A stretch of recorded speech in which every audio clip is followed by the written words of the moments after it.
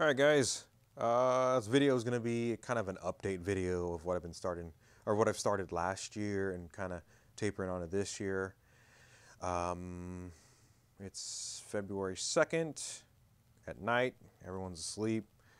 And I kind of want to show you what I've been doing um, since last year and stuff like that. Uh, I've, I've been putting off some stuff.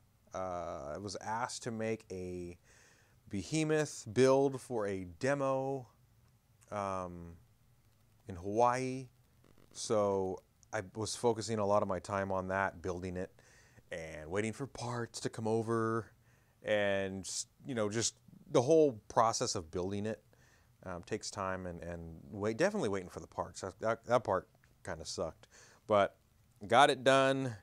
You can check my Instagram and Facebook that, you know, pictures of, of my progress. It's a blue one with fluorescent racing stripes, which is pretty kick-ass. So got it done. Um, that took up basically January, uh, a lot of my time. But finally got moved on to this. This was done last year, but I haven't done any more videos because I was focusing on that, that uh, the behemoth uh, for the demo. And that's been done for a while. And let me see if I can slow it down. Um, that's been done for a while, but again, a lot of things have been put to the side. So I'm going to start here and, uh, you know, let me know in the comments, you know, what you like, what you don't like, what, what you change, and, and uh, definitely hit the subscribe button and the like button and my Instagram, it's Sweep Wings, uh, my Facebook, it's Sweep Wings, and just check me out and follow me. So a lot of that stuff helps. It keeps me motivated to keep going.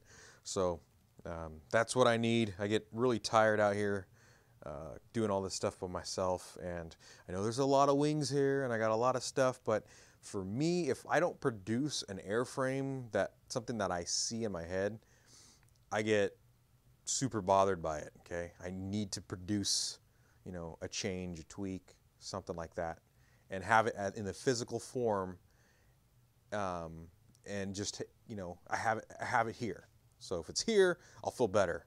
I have to produce it. Um, just helps me helps me uh, you know uh, stay focused and and and keep pushing on that one. Say, oh yeah, I remember I did that, and put it to the side and continue, continue it later. But anywho, enough of that little little ramble. We'll start over here and then I'll work my way back. So uh, the GoPro Pod or the Sweep Wings camera pod. Um, started this, drew it at work, and I wanted something that, that can be integrated into the behemoth nose and other noses. Um, this was a beginning one, and then I got the version 2.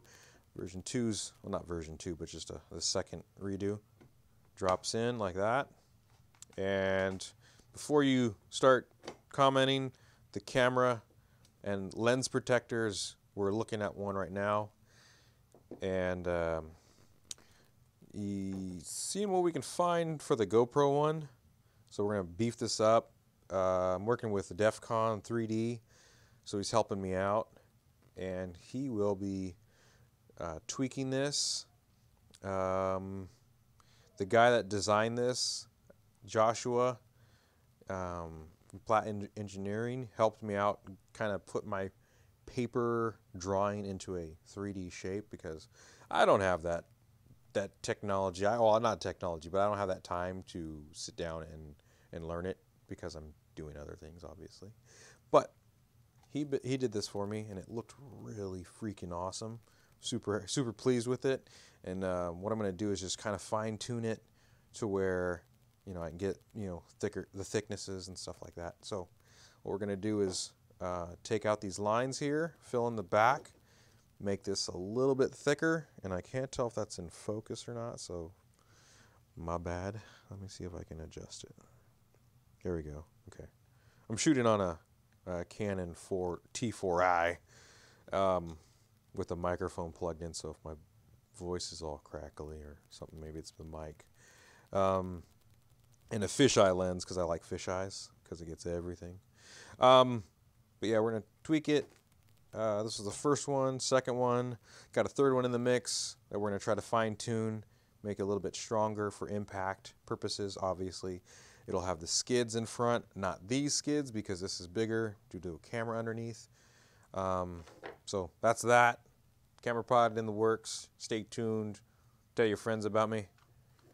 We'll move on to the second portion of this little video here. Um, this is actually part of the Pathfinder series for the Sweep Wings.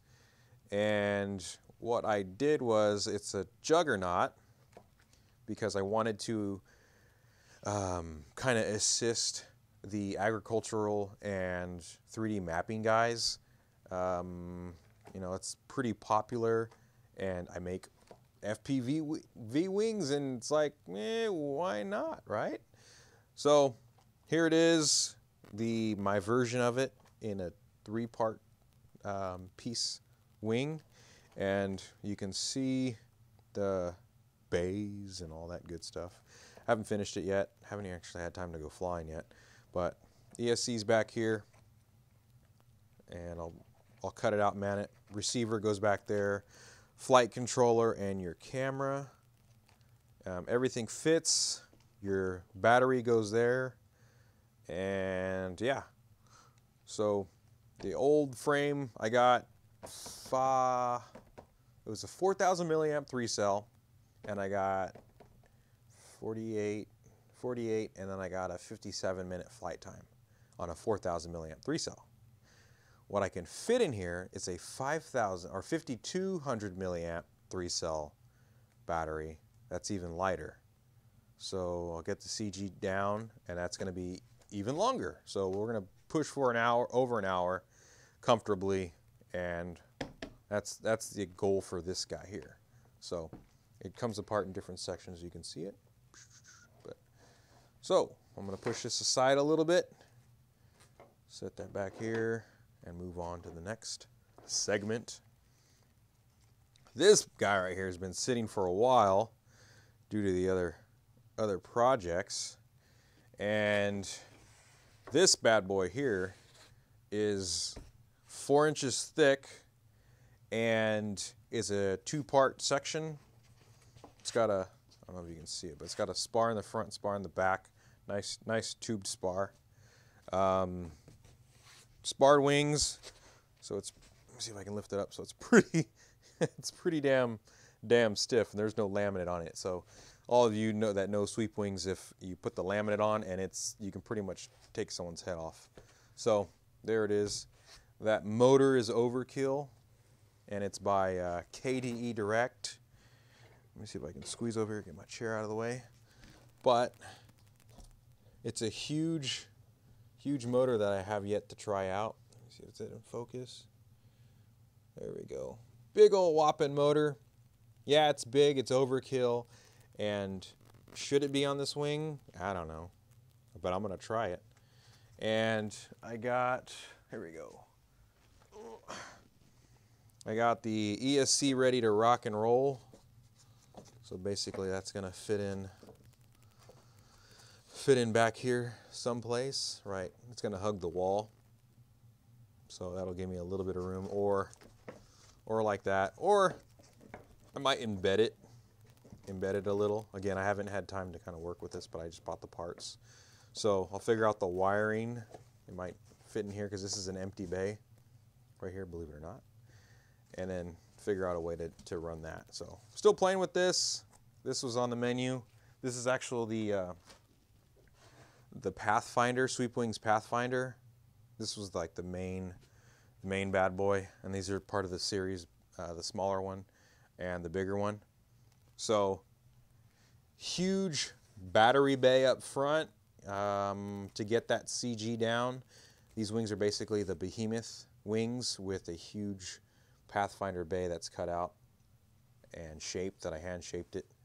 So battery, cameras, uh, flight controller or flight controller, um, wherever you decide to put it, and whatever else you want to put in there.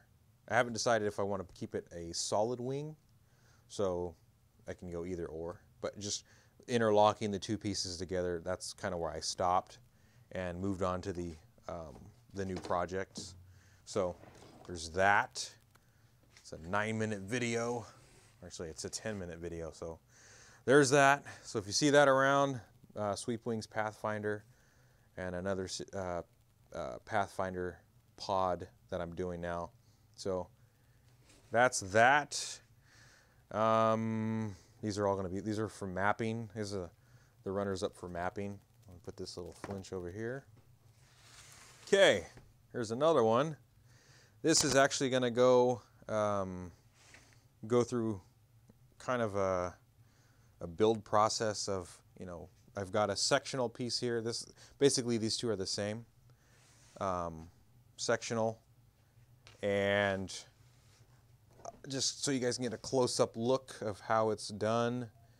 I have the flight controller here. It's kind of wiggling right there. Uh, telemetry, current sensor is going to go on the side over here once I get that mounted. It's going to go on the, on the side. And let me see, if that video clear? I can't tell. My arm's moving. So there we go. Uh, GPS compass, there's servos. ESC will probably be back here someplace. Receiver will go in here someplace. Um, airspeed sensor, the uh, tube is uh, snugged in right here. So if you hit, it'll go in, boop, hide. But I'll, I'll kind of lock it down a little bit better. Got your splitter here for the uh, compass and GPS system there. Uh, this wire goes into the, the sensor there. And yeah, we'll move on to the next section. So that's that. That'll be done here pretty soon. Blinking, blinking at me for 11 minutes. New flinch, a little bit more sharper airfoil. Same thickness, just a little bit thicker. So you guys kind of get the idea. So there's that. And the Snipe Pod is being made by Tim Snipeworm. And uh, he's making these sweet little pods here at home. And it's really slick because the bottom of it, that's where your battery goes right here. And a 52,000 or 5200 milliamp three cell fits in there. So that's going to go like that. Your motor, ESC, all your goodies in here, whatever you want, flight controller or whatever you want basically in here. Mobius and your flight camera with this logo. So we're going to try to fit it up with the flinch or juggernaut. This is, this is actually the flinch with the new airfoil, so it'll sit like that right at the belly and your motor will go back there and yeah that'll be pretty much the system. So you can put a nice good sized battery in there. Normally the flinches run on a 22 some guys are running more but this will run on a 5200 milliamp. That's actually really light. So big capacity right at the nose to, lock down that CG and you can play with it because it slides um, you know back and forth so you can kind of figure out figure out where it's at uh, flinch is six inches from the nose, and then you can Velcro uh, it in or strap it in or whatever you want to do. So that's the new one. That's like, I think it's like 32, 33 inches, which is pretty damn slick. So Tim Snipeworm, you can get a hold of him. Uh, just do search for him. But he's going to be producing these um, these pods here, and they look pretty damn slick. So yeah, it's not balsa, it's an ABS uh, plastic. Um, yeah, stay tuned. Just a quick rundown 14 minutes. I'm, hopefully you guys didn't fall asleep on me. Uh, got a Skywalker here version 2015 version that I'm gonna build and reinforce the whole damn thing because it's EPO and EPO sucks. So I'm gonna laminate it and put bigger horns, you know, a system like this, just beef it up a little bit more uh, put a new skid on the bottom or a type of a skid on the bottom. So that'll be there. Got stuff to do with that among make the kit. So you guys make sure you guys hit the like button and stay tuned with all the the good stuff that I'm I'm gonna try to produce. And uh, hopefully 2015 is is a positive year for me. That's what I'm gonna try to stay stay positive and uh, help me out. Let me know you know, if there's something I need to change, uh, like that. Again, all this is by hand, these hands, or this hand here. And sometimes I get help, sometimes I don't. It's a lot of work for me in the shop, but you know, bear with me there, and uh, you know, uh, don't get mad at me. no, I'm just kidding. Just stay positive. Um, that's all. That's all I'm trying to do right now, because you know these things are they don't exist, and so if I'm gonna try to keep the, um, keep these out there and and you know basically I'm, I'm throwing rocks at at the big guys, right? That's what I'm doing, and I want you to see that hey, you don't need to spend a lot of money on these. Um, it's it's they're going to be relatively cheap, and that's that's the goal I want to want to keep. All U.S. made, U.S. you know airframes. I can't say say anything about the you know parts because they're all made in Mexico, China, Taiwan, wherever. So frames are made in the USA, pods made in the USA, and that's what I'm that's what I'm trying to do. Um, so yeah, let me know, guys. Again, hit the like, subscribe, tell your friends, spread the word, spread the love. All right, guys. And on that note, I'm out.